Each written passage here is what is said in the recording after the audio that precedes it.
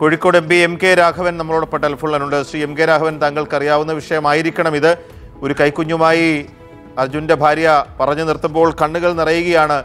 Phone ശബ്ദിച്ചു പുറത്തെടുക്കാൻ പലരും ചോദിക്കുന്നു പല പ്രേക്ഷകരും. എന്താണ് മൂന്ന് ദിവസമായിട്ട് ഇതിനുള്ള കാര്യക്ഷമമായ ഒരു ശ്രമം ഉണ്ടാകാഞ്ഞത് എന്ന്? എന്താണ് ഏറ്റവും പുതിയ വിവരങ്ങൾ താങ്കൾക്ക് അറിയാവുന്നത് ഞാൻ ഇന്നലെ ഇതുമായി ബന്ധപ്പെട്ടുകൊണ്ട് നോർത്ത് കാൻഡ്ര എസ് പിയുമായി സംസാരിച്ചു.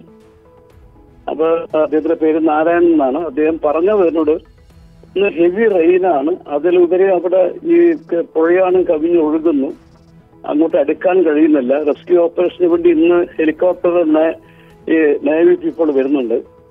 അപ്പോ നേവിക്കാർ വന്ന് എന്ന് ഈ റെസ്ക്യൂ ഓപ്പറേഷൻ ആരംഭിക്കും എന്നാണ് തന്നോട് ഇന്നലെ പറഞ്ഞത്. ഞാൻ ഇപ്പൊ അദ്ദേഹത്തെ ആ ജില്ലയുമായി ബന്ധപ്പെട്ട ഒരു മന്ത്രിയുണ്ട്. മാങ്കാളു വൈദ്യ എന്ന് പറഞ്ഞിട്ട്. ഞാൻ അദ്ദേഹത്തെ ബന്ധപ്പെട്ട ശ്രമിച്ചുകൊണ്ട് വിളിച്ചുകൊണ്ടിരിക്കുകയാണ് ഇതുപോലെ പക്ഷേ ലോറി മണ്ണിനടിയിലാണ്. അതുകൊണ്ട് കാര്യമായി മണ്ണ് മാറ്റി ലോറി പുറത്തെടുക്കാനുള്ള ഒരു ശ്രമം ഉണ്ടാകാതെ അർജുനെ രക്ഷിക്കാൻ കഴിയില്ല. ഇപ്പോഴത്തെ അവസരം അല്ലേ? അതെ, അല്ല അതാണ് അതാണ് ഇന്ന് ഇന്ന് ചെയ്യുന്നതാണ് എന്നോട് എസ് പി പറഞ്ഞത്. കാരണം അവിടെ പിന്നെ ഏറ്റവും വലിയ ഒരു വല്ലാത്തൊരു അന്തരീക്ഷം ഉണ്ടായിക്കഴിഞ്ഞിരിക്കും അവിടെ മഴയും അത് പ്രളയും എല്ലാം വന്നിരിക്കുന്നു.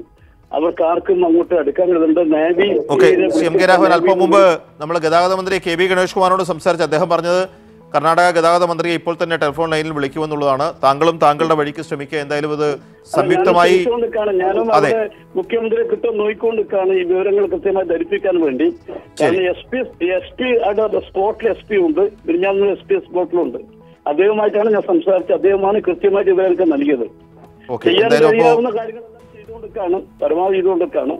തീർച്ചയായിട്ടും. അപ്പൊ എല്ലാ ശ്രമങ്ങളും നമുക്ക് പ്രതീക്ഷയോടെ ആ കുടുംബം കാത്തിരിക്കുന്നത് അർജുന്റെ ഒരു ജീവന്റെ തുടിപ്പ് ഇപ്പോഴും ഉണ്ട് അദ്ദേഹത്തെ പുറത്തു കൊണ്ടുവരാൻ അടിയന്തര ശ്രദ്ധ വേണമെന്നുള്ളതാണ് നിശ്ചയമായിട്ടും കോഴിക്കോട് എം പിയും സംസ്ഥാന ഗതാഗത മന്ത്രിയുമാണ് പറഞ്ഞ അവരാൽ കഴിയുന്ന എല്ലാ തരത്തിലും അതിനുള്ള ശ്രമങ്ങൾ നടത്തും എന്ന്. പ്രതികൂല കാലാവസ്ഥയടക്കം ഒരുപാട് ഘടകങ്ങൾ വെല്ലുവിളിയായി ഉയരുമ്പോൾ പോലും പരമാവധി ശ്രമം ഉണ്ടാകും എന്ന് നമുക്ക് പ്രതീക്ഷിക്കാം.